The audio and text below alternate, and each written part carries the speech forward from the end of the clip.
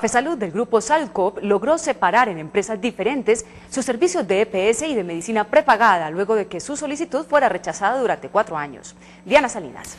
María Cristina, el cambio de actitud de la Superintendencia de Salud frente a la petición de Café Salud y la respectiva autorización de su división se dieron justo cuando cambió el superintendente.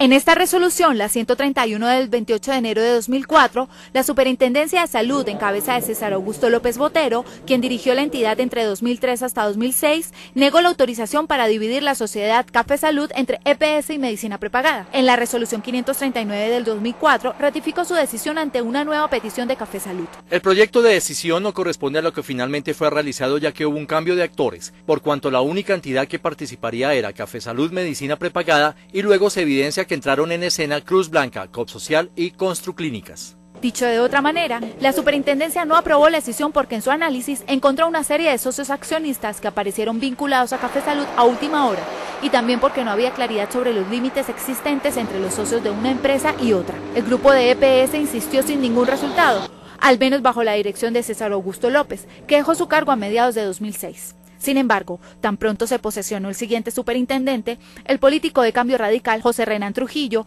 revocó la resolución 131 y autorizó la división de Café Salud EPS y la prepagada. Renan Trujillo, ex congresista del Valle del Cauca, duró escasamente un año en el cargo. Su abrupta salida, según un artículo de la desaparecida revista Cambio, fechado el 8 de mayo del 2008, se debió no a amenazas contra su vida, como afirmó entonces, sino como consecuencia de una conversación telefónica en la que hablaba de presuntas comisiones entre una EPS y la Supersalud.